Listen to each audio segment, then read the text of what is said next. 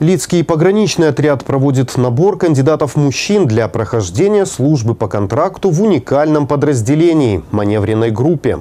Благодаря отличной боевой выучке и хорошей физической подготовке стражи границы данного военного подразделения готовы оперативно прибыть на участок государственной границы в случае обострения обстановки.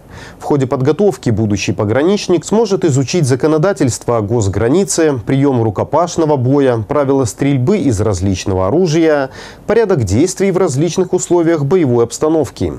По всем интересующим вопросам можно обращаться по адресу город Лида, улица Крупская, 30, войсковая часть 1234.